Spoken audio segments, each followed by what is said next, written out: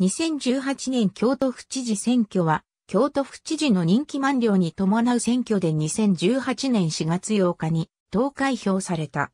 現職の山田啓二は立候補をせずに任期満了と同時に退任した。国政で野党共闘が展開される中、非共産対共産の構図となった。立候補を届け出たのは以下の二人である。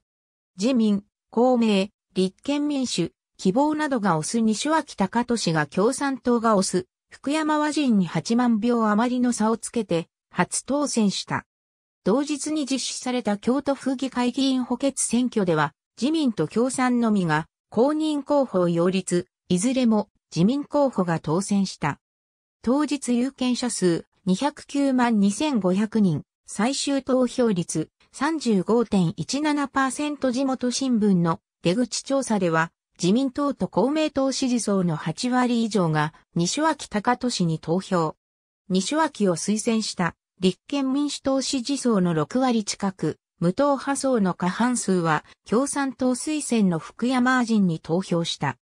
地域別で見た場合、自民、公明や立憲民主の推薦を受けた西脇は、大半の市区町村で5から6割の得票を得たほか、代表伝である京都市でも左京区を除いたすべてで福山を上回った。しかし、京都市では左京区を除く10区のうち7区で福山が45%以上の得票を得たほか、保守地盤である京都府北部では山田知事が前回選挙で78%の得票を得た福知山市で20ポイント以上落とすなど、前回選挙と比べて勢いを欠く結果となった。ありがとうございます。